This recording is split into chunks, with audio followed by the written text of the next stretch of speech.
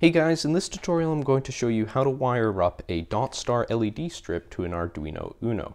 What you're going to need to be able to complete this tutorial is the dot star LED strip itself, some jumper cables, an Arduino Uno, and a USB cable to bring it all to your computer so that you can upload code to the Uno.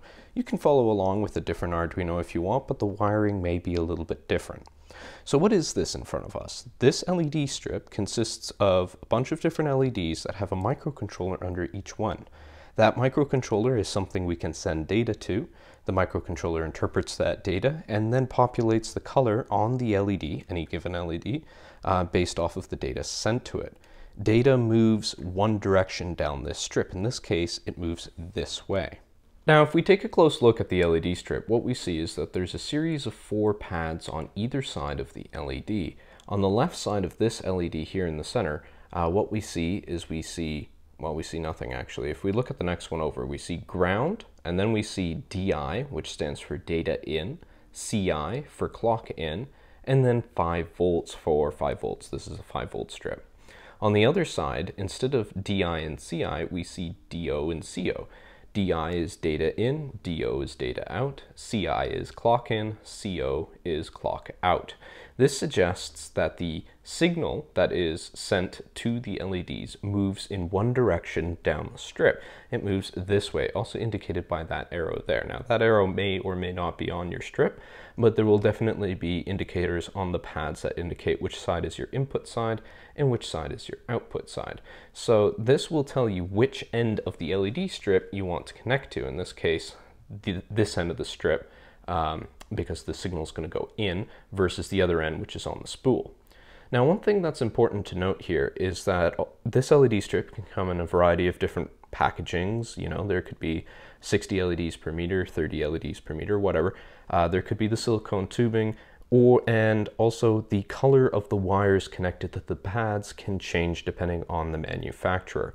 Now you and I might think, okay, ground is usually black and red is usually 5 volts, but in this particular strip, ground is blue, uh, data in is red, clock is green, and 5 volts is black. So that is a little confusing. And what's worse is these two additional cables that are separate have black going to ground and red going to 5 volts, which means that if we connected the black line up here to the black line down here, and we tied them together because black is equal to black, we would be getting a short circuit between our power supply and ground, and that's bad news. So I'm not going to refer to these cables by their color, instead by what their electrical function is, and you need to know what the electrical function of your colors is.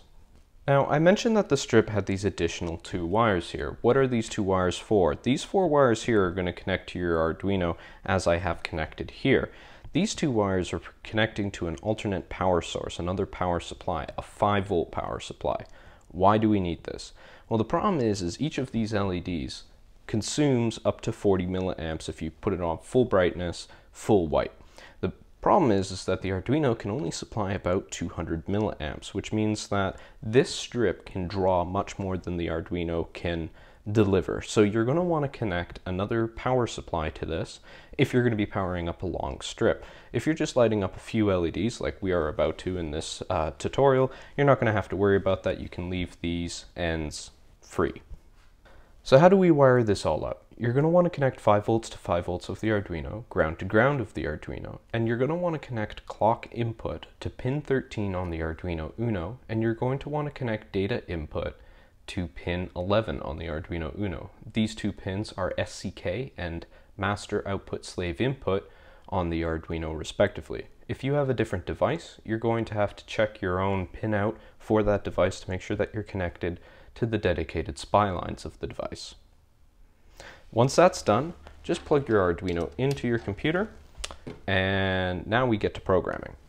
So here I've already opened up a copy of the Arduino IDE on my Mac. This can be done on any computer using any of the IDEs that communicate with the Arduino, including if you're uploading sketches straight from the terminal. However, how you install the library may change depending on which IDE you're using. The official IDE on the Mac makes it quite easy. If we just go to Sketch up here, include library, manage libraries, we can then type in dot star here, and it will come up with the Adafruit DotStar LED library. If we click this, we can select our version. I'm going to just choose the latest version at the time of this recording and hit install. And now we're done. If you don't have that functionality, or if you're using a different approach, what you can do is you can visit the Adafruit website, learn.adafruit.com slash adafruit-dotstar-leds, and if you scroll about a third of the way down, you will see this link to click to download the Adafruit DotStar library for Arduino. When you download that file, you can then manually install it wherever you keep your libraries um, for your Arduino. So now that that's done, what we're going to do is we're just going to load up a quick, easy example. If we go to File, Examples, Examples from Libraries, Adafruit DotStar, we're going to load up Strand Test. I'm just going to close this sketch in the back. So this here is a default program, uh, the program we saw earlier running on the LEDs, and we're going to have to make a few changes to this to make this work. Um, the ones the changes we're going to make is we're going to comment out lines 18 so put in a slash slash there and 19 slash slash and we're going to uncomment line 27 now if I upload this to my Arduino if I upload this to the Arduino we see that yes we get the strands lighting up and we get the LEDs moving just like I showed earlier in the video so let's take a look at this program and see what it is it is doing so starting from the top, we're going to import the relevant libraries, the SPI library, because we're connected to the SPI lines and the Adafruit DotStar library. We're then going to choose an arbitrary number for how many LEDs we want to light up, in this case 30. These two pins are irrelevant now. The two lines that we commented out made it so that we could bit bang on these two lines, uh, pin 4 and pin 5, uh, to send the signal to the LEDs. This means that you could use any two pins on the Arduino, but the Arduino has a dedicated SPI bus and it's much faster and more reliable. Um, so why not use the hardware that's actually included with the Arduino? And by doing that, we, uh, by uncommenting line 27, that's what we're doing. Now, if we go down into the setup here, we see some stuff that's irrelevant to us because we're using a Uno, but then we're going to, so we initialize this uh, strip here, line 27. We're then going to begin the strip and initialize the pins for output, and then we're going to show the strip. And what this does is it turns off all the LEDs right away because we haven't told which LEDs need to be lit up. Now, the LED on top of the microcontroller, like every microcontroller has its own memory. So if we don't tell explicitly what that microcontroller should be doing, it's going to do what it did last time. So if you had an LED on, showing it and writing off to it, uh, you turn it off. So the LEDs, what you were seeing here is what I'm calling a light snake. We have a string of lights that are progressing down the line. There's a head to the snake and there's a tail to the snake. These are identified here by these two values. So if you pay close attention to the LED strip here, you'll see that each snake is actually 10 LEDs long.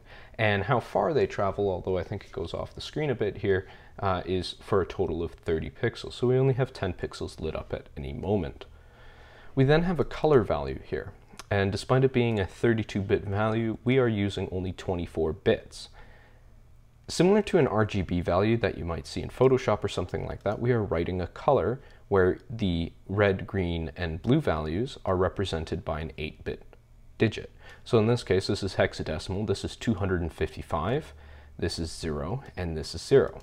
Now in the code, it says here that it starts red, but I'm finding that's not actually the case because here, if I upload this sketch again, we see that the very first color is green, followed by red, followed by blue. So it's green, red, blue. That's the order of the lights and the order of the colors.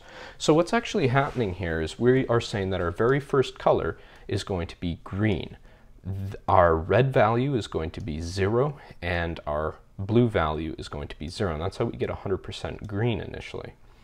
We then go into our loop and in our loop we are setting the pixel color of the strip such that the head is equal to our color. In this case it's going to be green. We then set the tail color to be zero. So that's as if all of these values here were written as zero, which is effectively meaning shut it off. We then show the strip we wait for 20 milliseconds, and then we go through this check here where we increment the head value and we evaluate whether or not it is higher than the number of pixels that we specified earlier in this case 30. If it is higher than the number of pixels, then we reset the head back to zero, starting the sequence all over again. We also shift the color value over 8 bits. So what we're doing there is we're taking this 255 and we are now moving it to the center two values, replacing what was 255 there with zero. So we're going to move these two F's over to the center, which would give us red. And then we check whether or not that value is equal to zero. In this case, it wouldn't be because some of the values in the center are populated. Um, so we go through again and then we would do the shift again such that we are now populating just the blue bits and leaving all the others zero. And then we go through the uh, loop again, and then we would shift the f's off the screen, so to speak. You know, it, it, would make all of these values zero, in which case it truly would be zero, so we reset our color back such that green is maxed out and all the others are zero, thus repeating the cycle of getting the colors again. Finally, we increment the tail and if the tail exceeds the number of pixels, we reset the value of the tail to zero, thus preserving a distance of 10 between the head and the tail. So there you have it, your very first dot star example. Now what I'm going to do is create another video where I show you how you can actually control this. Like this is, that was a lot to take in for somebody who has no idea what's going on, you're brand new to this. So in the next video, I'm going to, we're going to write our own program where we can control the pattern how we want it, and we're going to have some fun with these bad boys. I'll see you then. For more tutorials like this, visit thezanshow.com.